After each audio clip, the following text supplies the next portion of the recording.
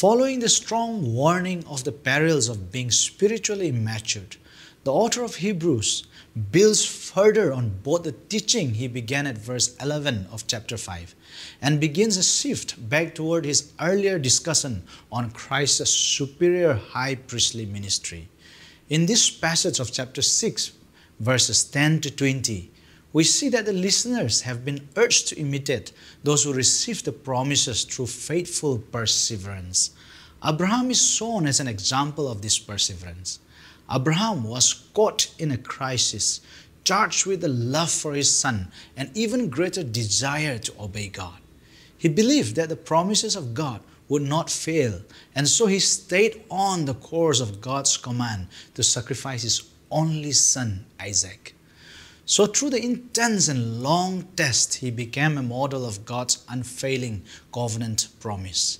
He goes on to say that Abraham believed in the oath made to him by God. And we see that God comes true in his promise, even if he subjected Abraham to such a test. How strong are we in situations that require us to persevere? We see that God is true to his oath. He is firm and steadfast, and because of that, we can stay through the perilous situations. Christ is the anchor that gives us the stability, and today we shall see in detail the inevitable hope of His anchor that has passed through the veil of the most holy place through the office of His eternal priesthood in the order of Melchizedek.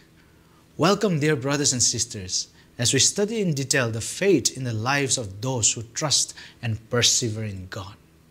Hello, dear friend. This is Through the Bible. Thank you for joining us. Here we are once again to study this wonderful book. Notice again in verse 6, just as a recap, let's look at verse 6 of Hebrews chapter 6. Why don't you turn your Bibles with me to Hebrews chapter 6?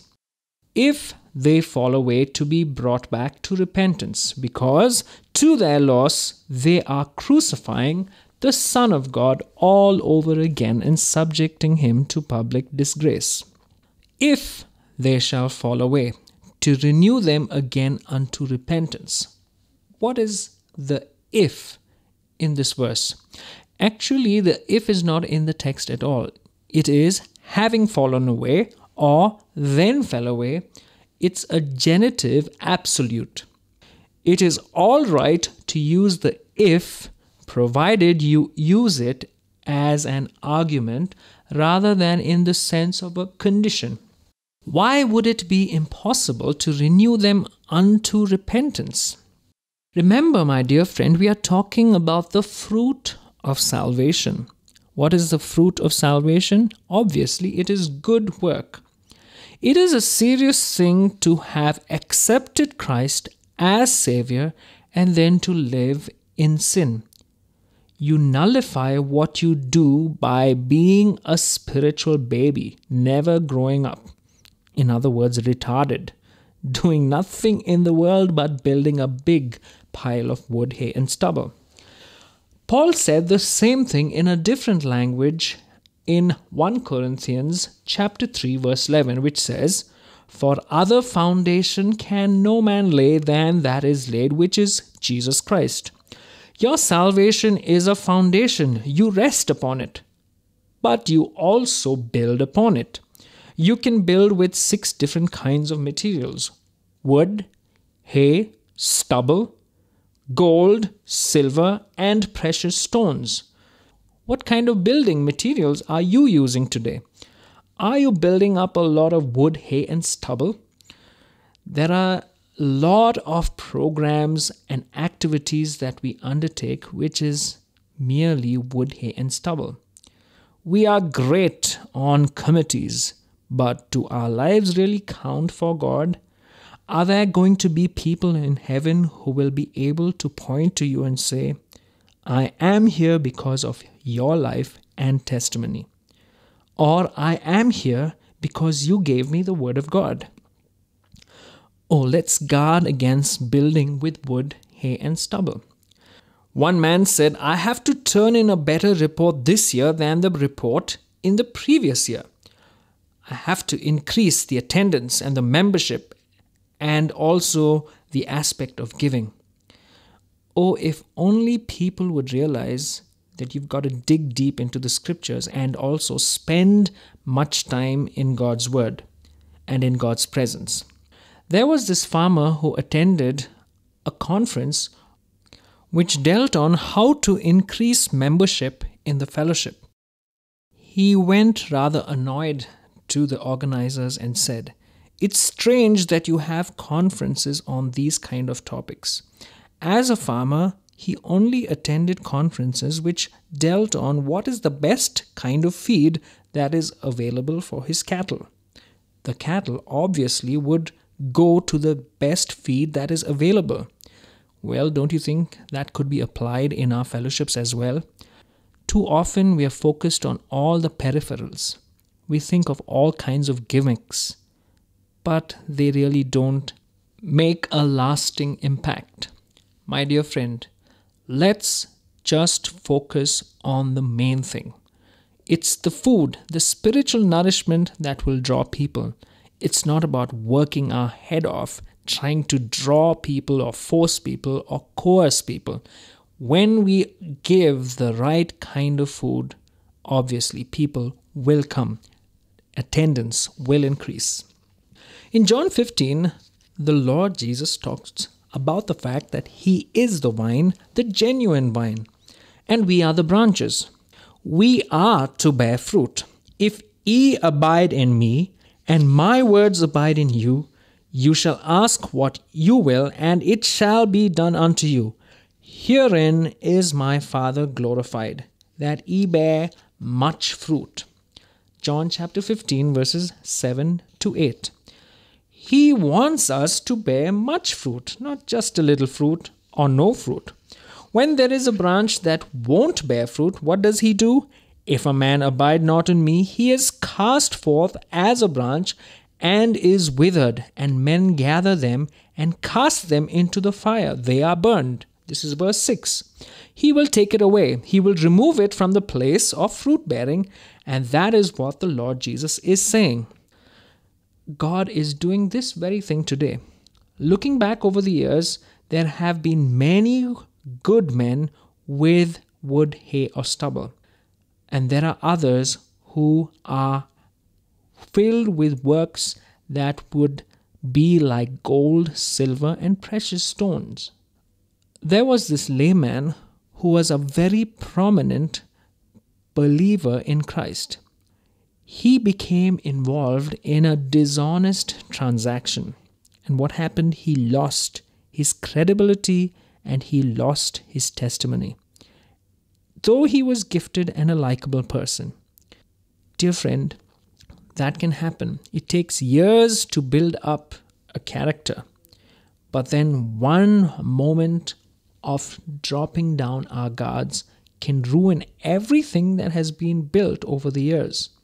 We've got to be so careful. There was this minister who was attractive and he became unfaithful to his wife. And all the while, he tried to keep on teaching. But his teaching didn't amount to anything. There was no result, there was no fruit. He was just putting up a lot of straw. It was just a big old haystack, but nothing worthwhile out of that. Oh, how careful we should be about our lives. We cannot live the life in our own strength we need to recognize that Christ is the vine. If we have any life, it has to come from Him. And if there is any fruit in our lives, it comes from Him. We are sort of connecting rods as branches connecting to the vine and then bear fruit. Christ said that, Abide in me and I in you. As the branch cannot bear fruit of itself except it abide in the vine, no more can ye except ye abide in me. John chapter 15, verse 4.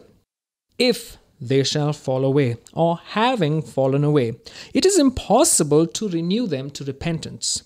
They then can shed tears all they want to, but they have lost their credibility or their testimony. For example, a preacher came and talked about his situation. He had moved away from this area and attempted to establish a huge service for God, but he failed because he had an inappropriate relationship with a woman. He was through. We cannot question his salvation. He is a gifted man, no doubt about that, who could be mightily used by God, but right now is on the shelf because he lost his trust with God. Forgiveness is one thing, trust is another. God forgives sin, no doubt about that. But then there is the trust. Trust takes time to develop. As you develop trust in another person, only then can you entrust more responsibilities.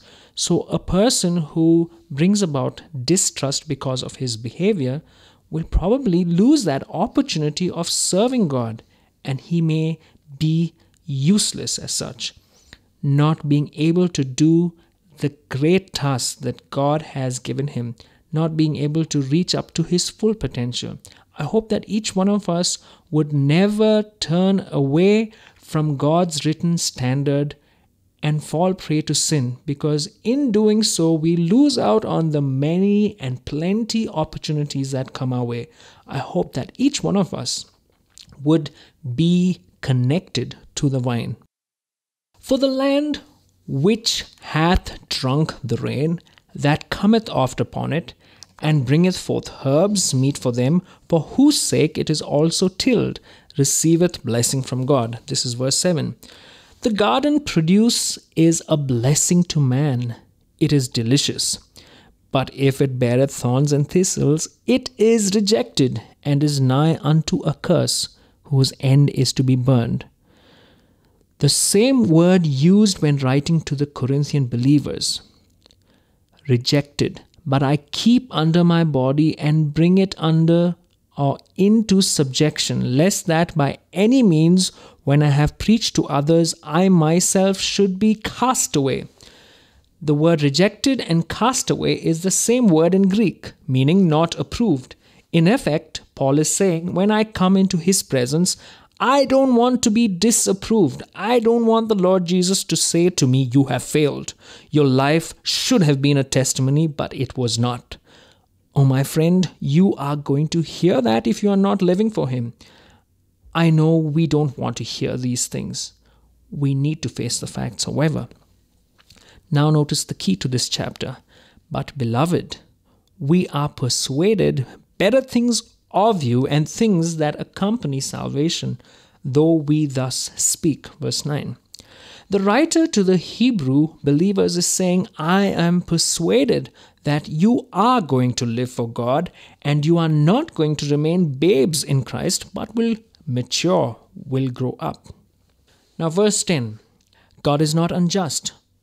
He will not forget your work and the love you have shown him as you have helped his people and continue to help them. Work and labor of love won't save you. But if you are saved, this is why you are rewarded. This is where good works come in although they have nothing to do with your salvation, they certainly do play a very important role in a believer's life. And we desire that every one of you do show the same diligence to the full assurance of hope unto the end. We need that full assurance of hope unto the end.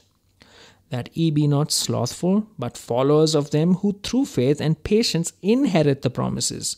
God has made a lot of promises to us if we are faithful to Him. Verse 13 For when God made promise to Abraham, because he could swear by no greater, he sware by himself. As you know, when you take an oath, you take it on something or someone greater than you are. Since there is nothing greater than God, he swore by himself, saying, Surely, blessing, I will bless thee, and multiplying, I will multiply thee. God promised that to Abraham in Genesis chapter 22, verses 15 to 18, then in Hebrews 11, verse 19. And so, this is verse 15. After he had patiently endured, he obtained the promise. Hebrews chapter 6, verse 15.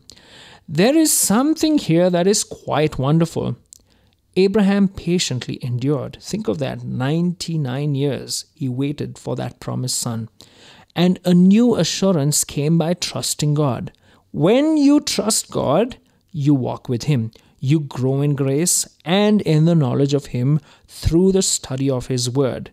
This brings you to a place of assurance that cannot be gainsaid. For men verily swear by the greater, and an oath for confirmation is to them an end of all strife. This is verse 16. When men confirm a statement with an oath, it is an end of every dispute. Verse 17 Wherein God, willing more abundantly to show unto the heirs of promise the immutability of his counsel, confirmed it by an oath. When God does a thing like this, he doesn't need to take an oath, but he does that to take one to make it very clear how important it is. In our age now, we are well on our way to trusting no one. Many of us have developed a kind of psychosis of distrust, commonly known as the credibility gap. Young people are taught not to trust anyone but themselves and to learn everything by their own experience. Promises are often made very lightly with little intent of fulfilling them.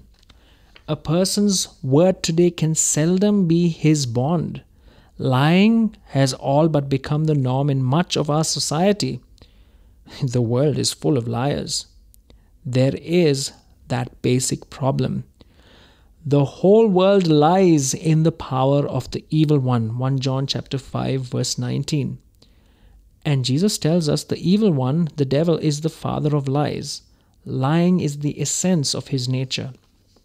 And here is God being doubly strong and sure that this is the truth. God is truth. He doesn't necessarily have to take an oath, but He is making that point very clear to each one of us that His word can be trusted. That by two immutable things in which it was impossible for God to lie, we might have a strong consolation who have fled for refuge to lay hold upon the hope set before us. That by two immutable things. What is that? What are those two unchangeable things? The Lord promised Abraham's descendants as innumerable as the stars of heaven. Then later he confirmed his promise with an oath. Genesis chapter 22, verses 16 to 18. God confirmed his unchangeable word of promise by a second unchangeable thing that is, his oath. These two unchangeable things gave Abraham encouragement and assurance. Now, what are the two immutable things for each one of us today? Not only do we have the promise made to Abraham for our encouragement, but we have a far richer revelation of God's love in the gift of His Son. One, the death and resurrection of Christ, and two, His ascension and intercession for us are the two immutable things or unchangeable facts. These four great facts death, resurrection, ascension, and intercession gives us an assurance that provide a refuge that we can lay hold upon who have fled for refuge to lay hold upon the hope set before us. This reminds us of the cities of refuge which God provided for the children of Israel. Numbers 35, Deuteronomy 19, Joshua chapter 20, right through to 21. Those cities of refuge serve as types of Christ sheltering the sinner from death. It was a very marvelous provision for a man who accidentally killed someone. Maybe the one whom he killed had a hot headed brother who wanted vengeance, so the fugitive could escape to a city of refuge where he would be protected and his case tried. If he was acquitted of intentional killing, he must remain within the city until the death of the high priest. What a picture this is for us today. This reveals that Christ is our refuge. My friend, I have already been carried into court, and at the trial I was found guilty. I was a sinner. The penalty which was leveled against me was death. and it has already been executed. Christ bore the penalty for me, you see, because he died in my place. I am free. I have been delivered from the penalty of sin. Never do I have to answer for it again. I am free now to go out and serve him. I now have a high priest, a resurrected Savior to whom I can go. What a wonderful picture of my Savior this gives. The Apostle Paul wrote to the Corinthians Now all these things happened unto them for ensamples, and they are written for our admonition, upon whom the end of the world are come. 1 Corinthians chapter 10 verse 11. Ensamples are types, and Melchizedek is a type of Christ. Millions of things could have been recorded, but God chose to record only these things because they enable us to grow in our understanding of Him and our relationship to Him. Which hope we have as an anchor of the soul, verses 19 to 20, both sure and steadfast, and which entereth into that within the veil, whither the forerunner is for us entered, even Jesus, made an high priest forever after the order of Melchizedek. When Christ ascended back to heaven, he assumed the priestly office, the office of the high priest, entered into that within the veil. Christ, as high priest, entered into the temple in heaven, after which the earthly tabernacle was patterned. Hebrews 8, verse 5. He passed through the veil into the Holy of Holies, into the presence of God, and presented his blood there. Then he sat down at the right hand of the Majesty on high. Now, one difference between Aaron and the Lord Jesus is this. I say this reverently. Aaron never did sit down. There were no seats in the tabernacle. There was the mercy seat, but that typified God's throne. Aaron only hurried in and hurried out. But you and I have a superior high priest. He has gone in, and what is he doing right now? He is seated. He has sat down. He has a finished redemption. Jesus Christ is the forerunner, which implies that there are others who are to follow. As an anchor of the soul, we have an even stronger encouragement than Abraham had in his time, because our high priest has entered in in advance into the presence of God for us, and he is there today interceding for us. That's an anchor for the soul. Well, my dear friend, we've come to the close of our study. Thank you for joining us. I do trust that these verses would have strengthened and enabled you to get a firmer grasp of who you are in Christ and what he does in order to prove and to let us know that he could be trusted. Dear friend, trust God, it's worth it. God bless. I hope through today's lesson, you are able to learn about the faithfulness of God towards us if we persevere in faith. He is the one who helps us to persevere through all the spiritual resources He provides. Those spiritual resources are accessed as we trust God's Word and build our lives on it. His oaths help us to see beyond our limitations to His limitless power and provision. Our life is meaningful and lasting because of the hope that we have in Christ. As Paul states in Romans 15:13, may the God of hope fill you with all joy and peace as you trust in him, so that you may overflow with hope by the power of the Holy Spirit. God bless you, my friend.